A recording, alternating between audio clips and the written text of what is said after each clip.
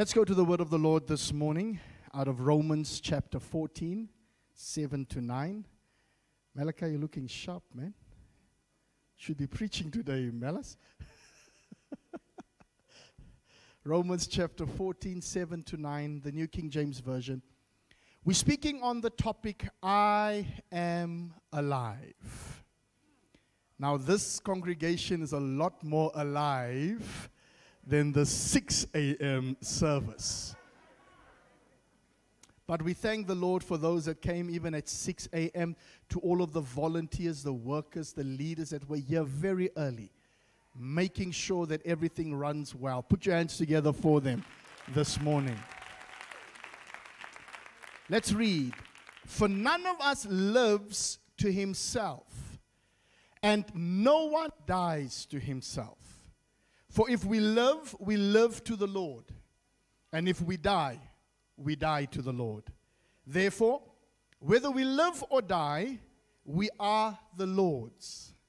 For to this end Christ died and rose and lived again, that he might be the Lord of both the dead and the living. May the Lord bless the exposition of his word this morning. By way of introduction, Allow me to again just comment on popular culture at this very moment. On Friday, one of the journalists, well known um, TV, radio personality, political commentator, wrote an article on Good Friday of all days, published in Times Live, and is asking the question if God exists, then why did he allow the flooding in KwaZulu Natal. Now he goes on to confess that he's an agnostic. An agnostic is somebody that can't prove or disprove the existence of God. He goes on to argue his case that God then does not exist. Because if God allows suffering, how can he exist? How can God turn his face from his people.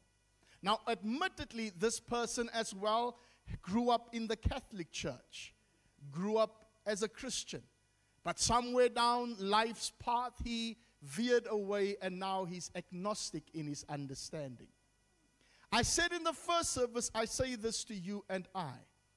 There's a lot of people outside of the church that are living but they are not alive. And the church, like I said on Friday, the world will allow us to celebrate this weekend because they are living, but they are not alive. You and I are living, but we are alive. That's why the title of this message is this morning I am alive. Because if we read the scripture that we've just done, Jesus is Lord over both the living and the dead. Meaning, if we sing and shout about victory, if the grave has no victory, if death has no sting, then we can truly shout with the Apostle Paul and we can say, For me to love is Christ, to die is gain.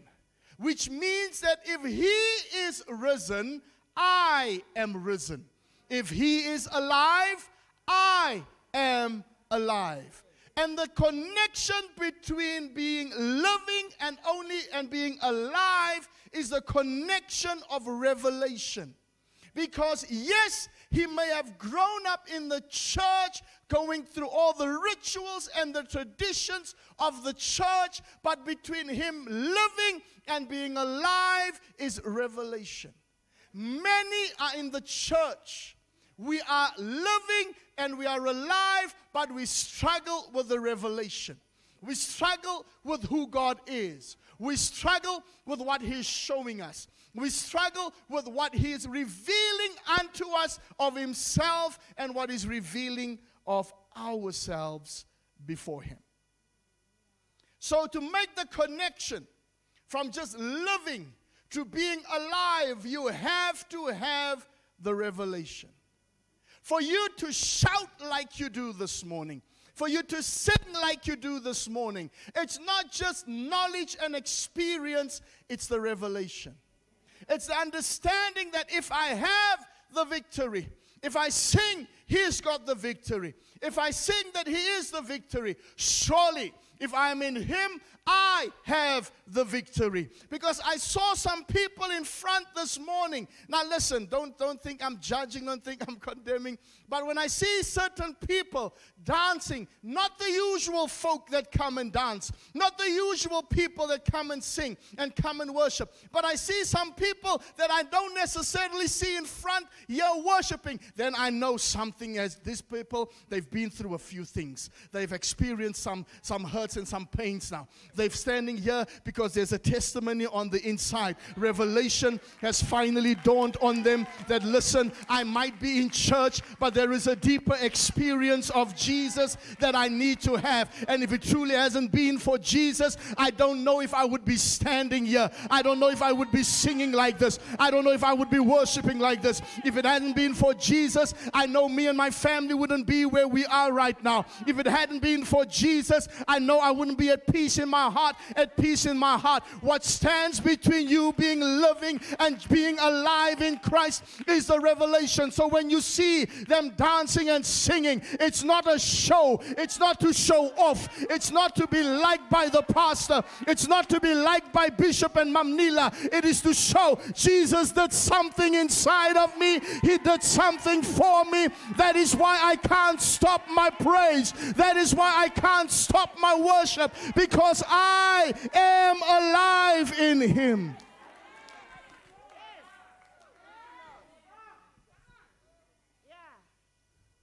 the empty, borrowed tomb. It was a borrowed tomb.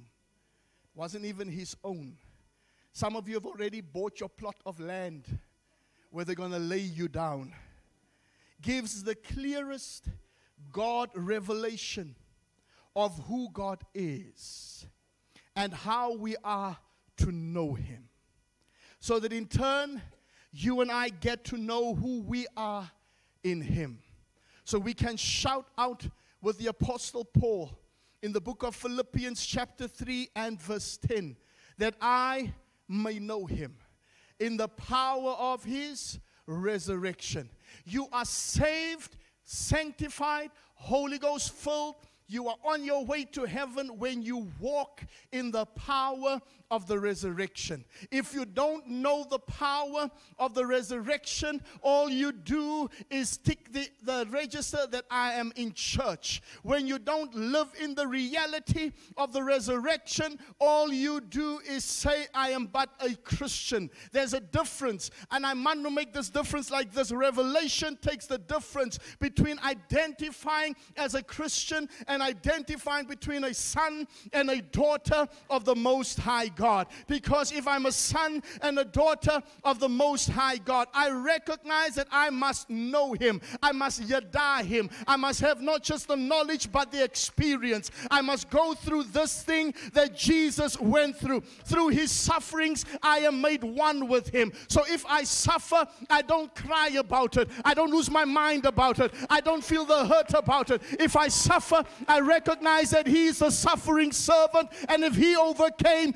suffering, according to what Paul writes, and he says, Our, our affliction is but for a moment, our suffering is but for a moment. Um, uh, uh, what you call this word? A moment, a mo. I can't get the right English word now. It is just but for a moment. My English is up. It's just about a moment. It's just but for a moment. If I suffer with him and I identify that he is a suffering servant, surely he will not put something on me that I cannot handle. I am a son, I am a daughter of the Most High God. I am never outside of His purview, I am never outside of His eyes. He sees me, and if He sees me, Pastor Miriam, I know as a son, as a daughter, by revelation, if I speak those things that be not, though it will come and it will manifest because it's revelation.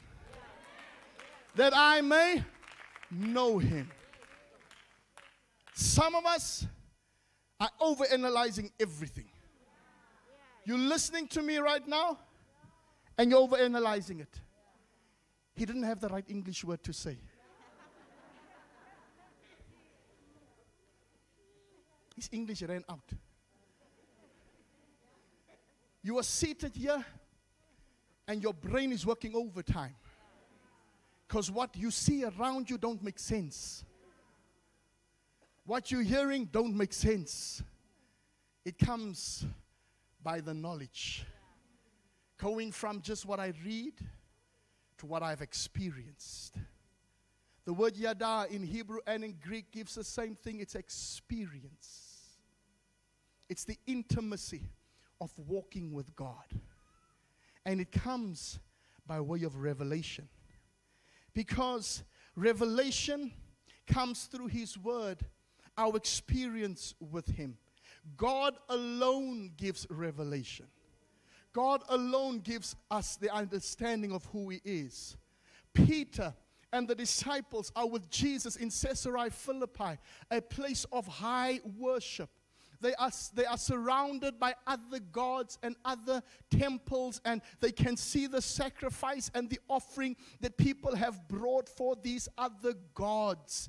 Jesus turns around and says, Who do men say I am? They say, But you are but one of the prophets. Nothing wrong likening Jesus to a prophet. Nothing wrong, wrong likening Jesus to somebody that they know of and they can, they can identify with. Nothing wrong but Jesus says, Who do you say I am? Peter jumps up and by the power of revelation, Peter is not a learned man. Peter is not a, a, a, a, a, a, well trained man. He's an uncouth man. He's a rude man. He, he's raw. He's a man that has no sense of how he speaks. But when the revelation hit Peter, Peter says, You are the Christ, the Son of the living God. Peter, Peter, Peter, what you've just said is not of your own mind, but it comes from the Father. Therefore, Peter, the revelation that you've just received gives you now the keys of the kingdom. So, what you bind here on earth will be bound in heaven. What you loose here on earth will be loosed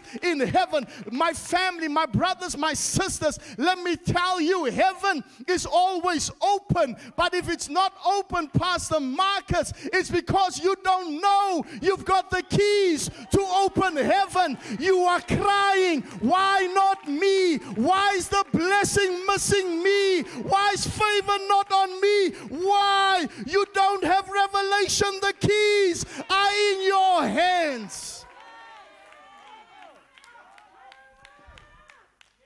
I'm going to pick on them again. That's why we run to every prophet.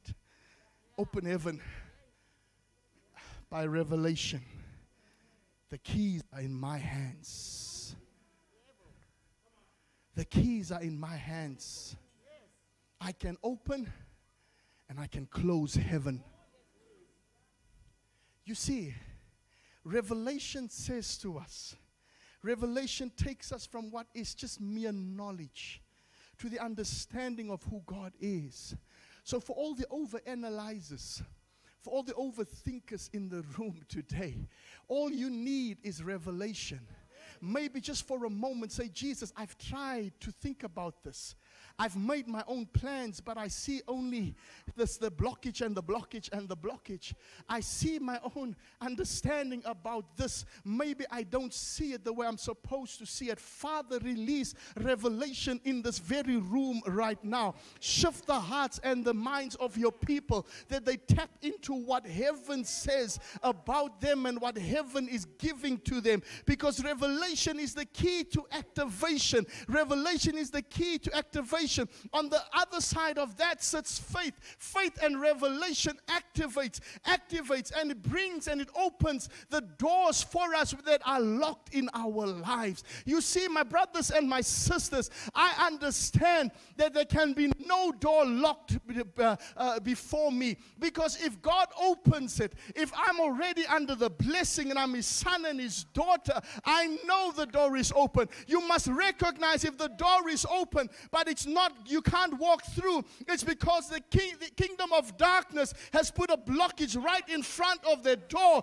And the enemy says, Do you have enough revelation for you to activate your faith, to move the stronghold, to move the, the, the, the, the, the principalities and the powers of darkness? Have you, do you have enough faith in you to walk through and say, I will walk where God has called me to walk?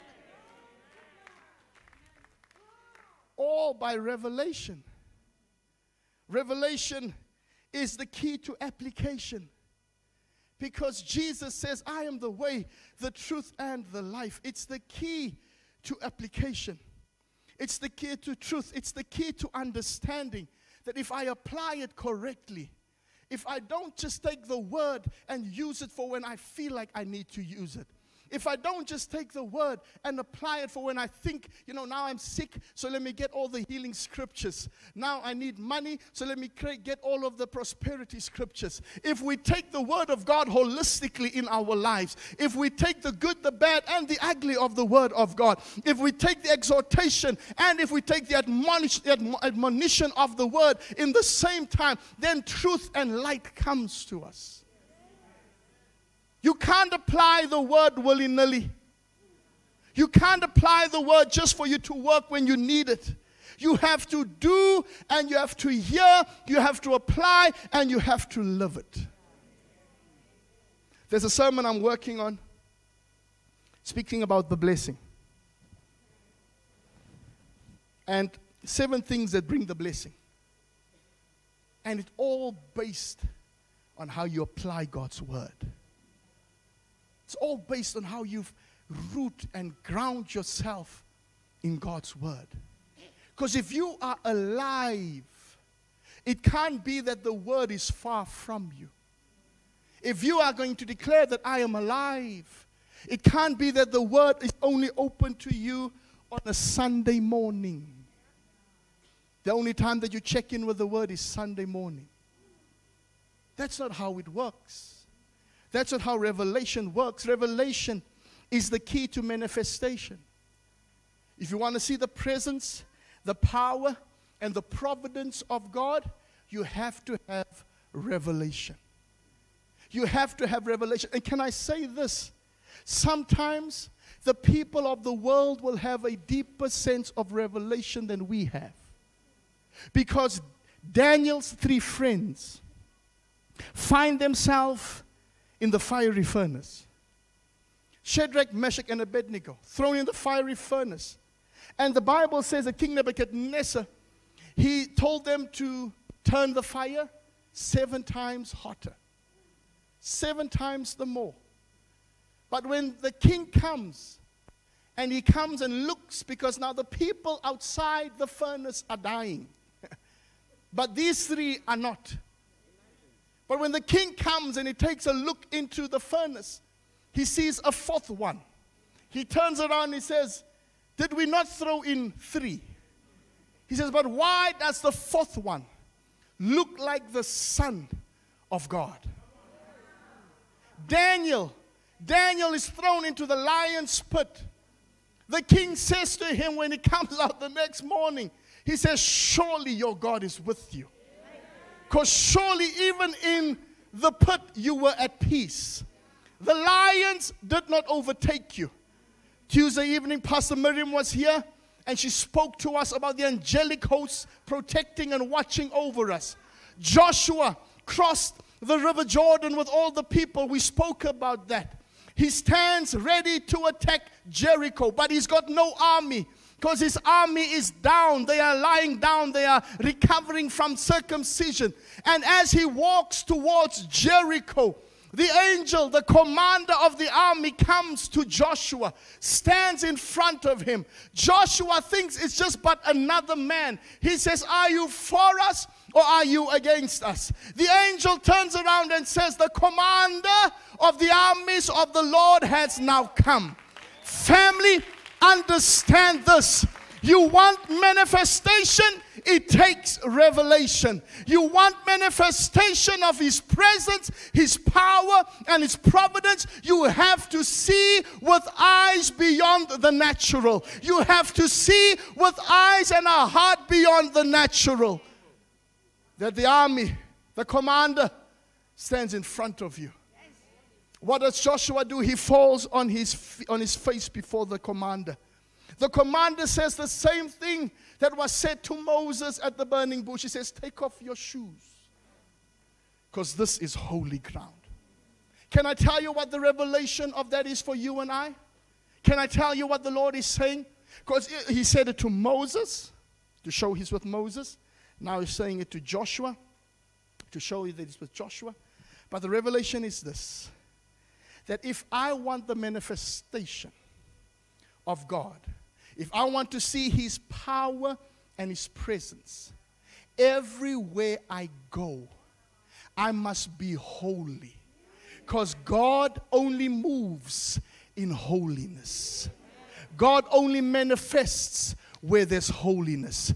God only manifests where there's purity. How could the angel manifest to Mary the virgin? Because Mary was pure. She was not touched by any man, she was touched by the angel himself. She could see because where God moves, there's holiness. So, what does that mean? It means, family, wherever you and I go, we cannot switch off. We cannot let a moment go by where we are not switched on to what God wants. You may walk into your office, in into the boardroom, but listen, you must walk in there in meditation of the Spirit being with you. You must walk in there with your mindset on the things that are above than things that are not beneath. You know how you will make contributions in the boardroom when they call on you for strategic input. It's my mind is on the things that are above and the things that are not here on the earth. Because, Lord, let me see beyond what is being spoken about right now. Because when I, I walk into this boardroom, there may be people that don't believe, but this ground is holy because you are with me. Revelation brings manifestation. Revelation is the key to glorification. Now, I know in most cases theology will teach us the glorification is our final state of being. Glorification is when we are in the presence of Jesus. That means when we have been translated into heaven and to paradise. That's what theology teaches us. But in Revelation, when we speak of glorification, it means of the perpetual state of our being. That He crowns my head with glory, He crowns me with favor. Everywhere I go, it's the acceptable year because I am the son and the daughter of God. Everywhere I go, if we read uh, Matthew, Luke chapter 4, and you read about Jesus speaking, uh, John, uh, Isaiah chapter 61, he says that thou you must recognize that this is the acceptable year of the Lord. If we are living in revelation and we are glorified by the revelation, every day is acceptable. Because nothing can separate us from the love of God.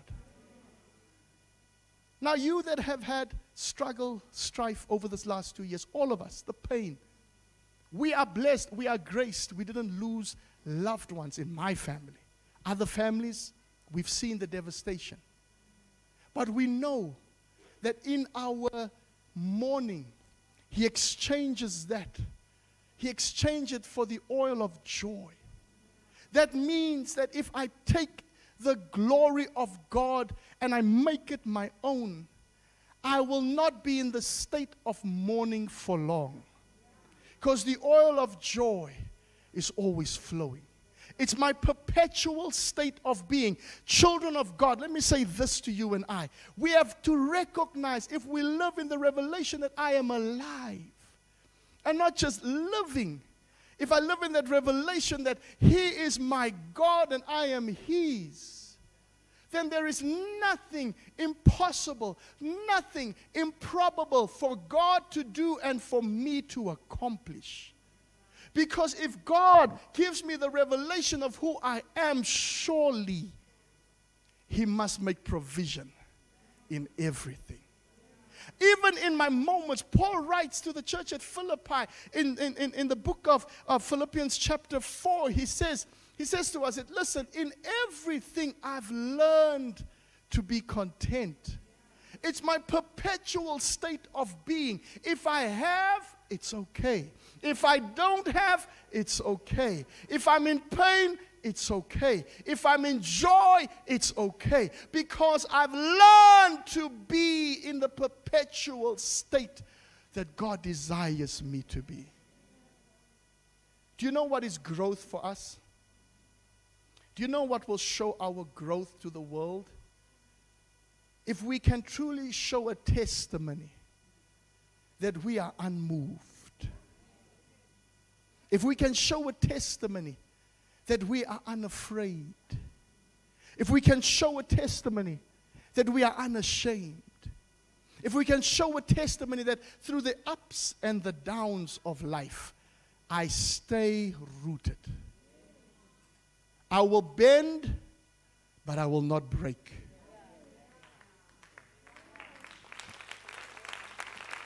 I will go through the fire, but I will not be burned. I need to speak that. As I was saying, the Lord said, Say that to somebody. You are in the fire right now, like the three Hebrew boys, but you will come out of there unburned. Pastor, it's not possible. Yes, it's not possible if you say it's not possible. Pastor, it can't happen. Yes, it can't happen if you believe it can't happen. I am alive, and it takes the revelation of who God is. It takes the revelation. You people all standing and clapping at that empty tomb. The revelation of that empty tomb says that if He's alive, I am alive. The revelation of that empty tomb says, if He is risen, I am risen. So, will we have down moments? Yes, we will, but we rise again. Will we have painful moments? Yes, we will. But we know in the midst of the pain, there is covering and there is comfort. Will we have moments of lack? Yes, we will. But we know that he who owns a cattle on a thousand hills, he sees me in the moment of my lack and my want, and he will, he will, he will provide. Why would to me? He's no man that he would lie. He's no respecter of person that he would say he would do it for Marcus but not for Adrian. He's not a man that he would look at us and favor us because of what we do for him and what we don't do for him. He is God. And if he is unmoved by the ebbs and the flows of life, we must be unmoved. Janine and I, we went to go pray years back for somebody in hospital in ICU, and we've never seen so many machines around this person, and every machine you can think of. And as we stood there, every time we see this guy on Facebook and on WhatsApp, we, t- we look at each other, we say, This guy was dead. this guy was dead. When we stood there, the Lord says to us, Be not moved by what you see. And we said that, and his wife looked at us like, made no sense. I say this to you this morning as I close this out. I didn't even touch the whole sermon. Be not moved. Because the revelation says, I am not just living, I am alive. And if you are alive, the same spirit that raised Christ Jesus from the dead, the scripture says, Pastor Marcus, now quickens. A quickening is like a vibration in your spirit. Quickens. You feel it says your mortal bodies, which means that there is mortality ahead of us, which means that we are but finite, but He's infinite. He's immortal. And if His Spirit quickens us, He raises us above the fray, above the struggle, and we can exclaim that we are alive.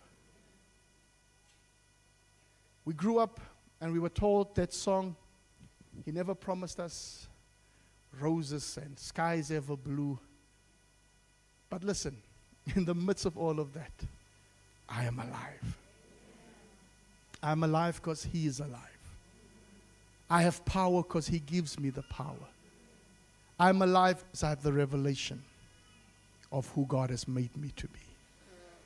Father, as you, we pray over your people. We thank you for Resurrection Sunday. We thank you, Jesus, that we now turn our eyes towards the mountain. We turn our eyes beyond the mountain to Pentecost Sunday. We turn our eyes beyond our pain, beyond the struggles of life, and we turn it to you. Because in all things, you've set us free. You've made us alive in you. May your people walk out of this room alive. May life start anew. May life start afresh. May life start with a great, powerful level of revelation. That if He is in me and I'm in Him, I am not moved. Because we walk by faith and not by sight. We live in the overflow of what heaven has commanded and given to us. We live in the power of the resurrection. We live in the fullness of the resurrection. We live in the blessing of the resurrection. Bless this church. Bless your people. Father, those that need you, you are close to them. Those that desire more of you, you will increase them. And I thank you, Jesus, that as we've sung so beautifully, that victory belongs to Jesus. That the victory of the, of the cross and the grave never leave us. We walk in revelation, we walk in power, we walk in might. We bless you for this. In Jesus' holy name, amen and amen.